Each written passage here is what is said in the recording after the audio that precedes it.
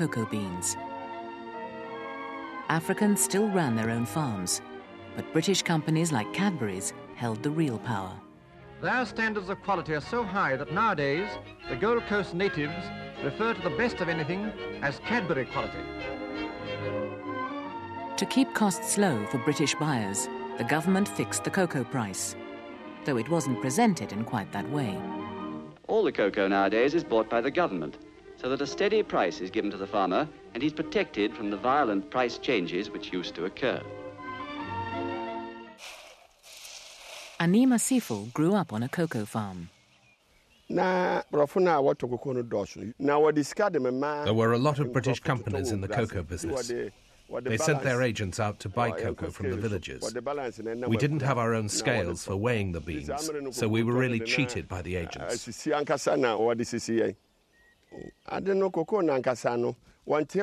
We had to accept the prices they gave us. The price was set by the British, and we had no say. Our hands were tied. The Europeans needed the Africans for the work they could do. They were in no hurry to give them full political rights. At best, the British and French thought Africans might one day run their own internal affairs. But it might take 50 years.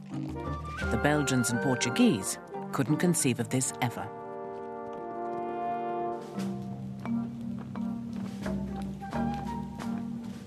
The aspirations of Africans themselves changed after the end of the Second World War, which altered everything. Colonial troops had fought alongside the British to defend other parts of the empire. They became more aware of the world.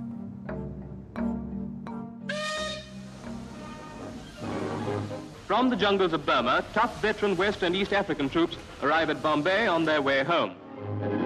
And their fighting skills struck terror into the Japanese. They were masters of jungle warfare they'd learned something else. In India, they'd seen the nationalists challenging the British. Geoffrey Aduama returned to the Gold Coast with a new insight. Well, the Indians were very, very political. They were very political. Uh, we had conversation with some of them. They said, "Why are we fighting uh, uh, for Britain?" Then we say we are fighting for world freedom. So they ask us, "Are you yourself free?" We said, no. He said, well, fight for your freedom first. As I said, this had a very big impression on the Coast soldiers, me especially. Uh, it had a big impression on me. The African struggle for self rule, which would soon spread to other parts of the continent, began in the British colony of the Gold Coast, where only 5,000 Britons, mostly traders, lived alongside 2 million Africans. Trouble began when demonstrations led by army veterans turned into violent riots, and 29 were killed.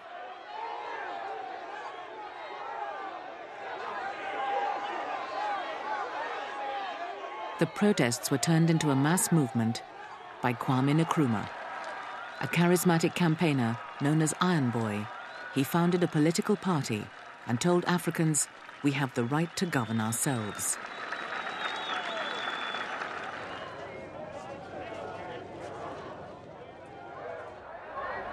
Following Gandhi, he asked Africans to take direct action and demand self rule immediately.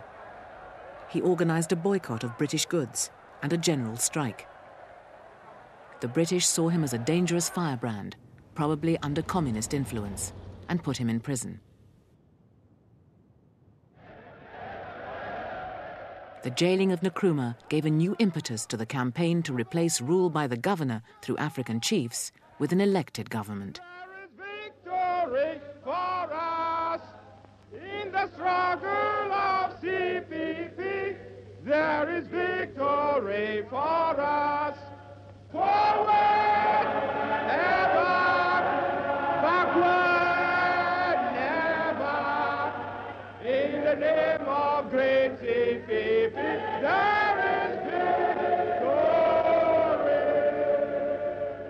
Victory. Komla Gbedemah, Nkrumah's friend and fellow worker, ran the party in his absence.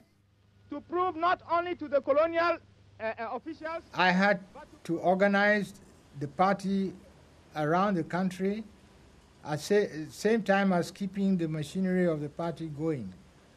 But we did it all. And to help us do it, one of the tools I used was to have a full life-size photograph of Nkrumah made in, into three parts so that it makes a, a decent small parcel. And this I carried around as part of my paraphernalia for the campaign. Nkrumah's body is in jail, but his spirit is going on. Now, how can we not vote for such a man?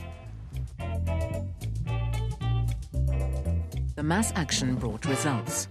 With the colony in ferment, the British finally agreed to a general election. They hoped Nkrumah would lose to more conservative opponents.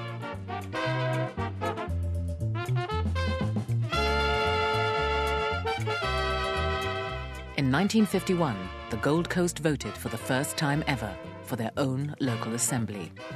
There were few white voters. Because of the climate, few Europeans stayed for long or settled in the country. Nkrumah's party won a landslide victory. Reluctantly, the governor had to release him from jail.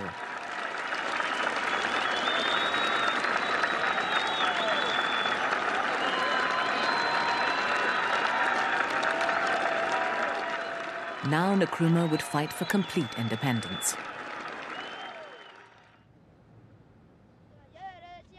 The year after Suez, their retreat began. The people of the Gold Coast had had their own assembly under the British, but not independence. In 1957, they became the first black Africans to get complete freedom. Leaders from East and West came to Accra to see the handover.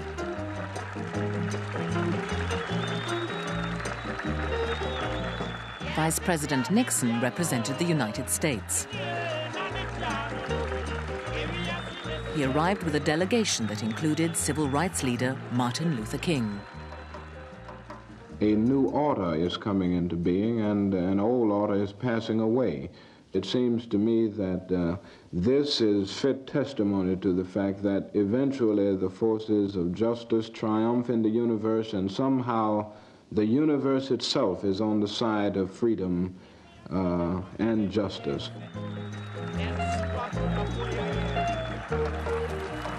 British were proud of the peaceful nature of the transfer.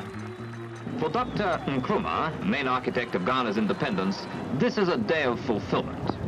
The longing to be free, the need to be free, these are part of the rightful heritage of man, a heritage denied to colonial Africa until now. The Gold Coast was renamed Ghana with a parliamentary system modelled on Westminster.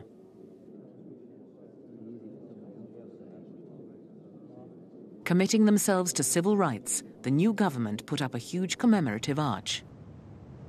Here, but a handful of years ago, men laid down their lives for a cause that was not yet won, for freedom, for justice.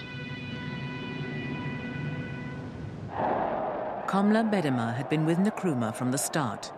Now he shared the glory. And in the uh, subdued light, we mounted the platform and were all ready when the lights all went on at five minutes to 12. with me standing on the right hand of side of Nkrumah, everybody was happy. The cheering probably is still resounding, but we don't hear it. At long last, the battle has ended.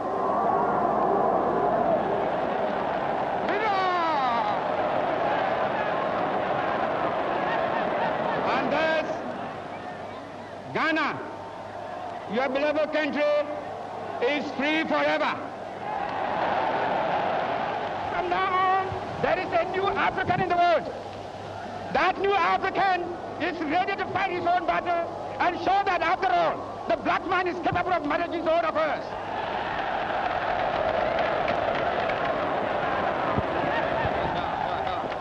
Now I want you all, those who have hats on, to take off your hats and let the band